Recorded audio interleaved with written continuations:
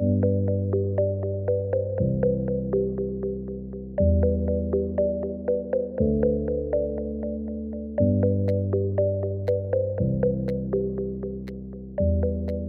della felicità è un programma creato dall'Istituto Lamazon K si fa in nove incontri.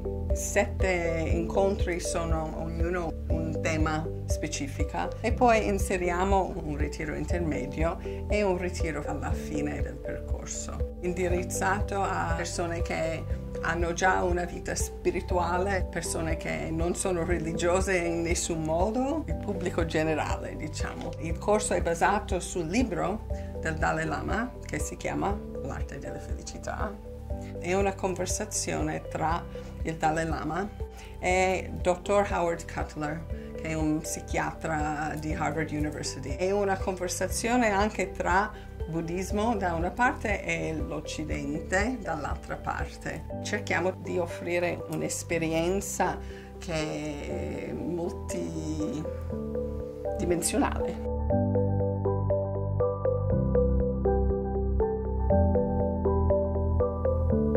La felicità per le neuroscienze è un concetto che si sta formando. Si intravedono due categorie, due tipologie di felicità. Una nel breve termine, chiamata anche edonia, ed è la felicità un po' più legata al senso del piacere, anche quello fisico. L'altra tipologia è la eudemonia, che è più a lungo termine, una soddisfazione in generale del, dell'andamento della nostra vita, della nostra relazione con gli altri. Negli ultimi anni le neuroscienze hanno eh, capito in maniera abbastanza chiara come il cervello non sia un organo statico, ma un organo dinamico, plastico, in continua trasformazione a seconda delle attività eh, che le persone fanno. Se questo è facile da capire per un compito motorio come suonare uno strumento musicale, andrebbe capito anche per altre competenze, per esempio la nostra capacità di percepire, capacità eh, visive, uditive, relazionali, tutto il panorama delle funzioni eh,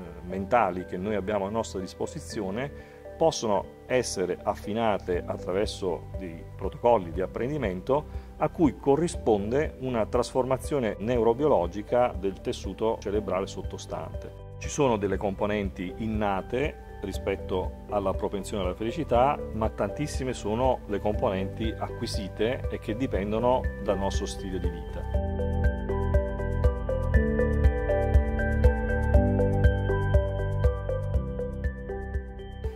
Vogliamo tutti essere felici.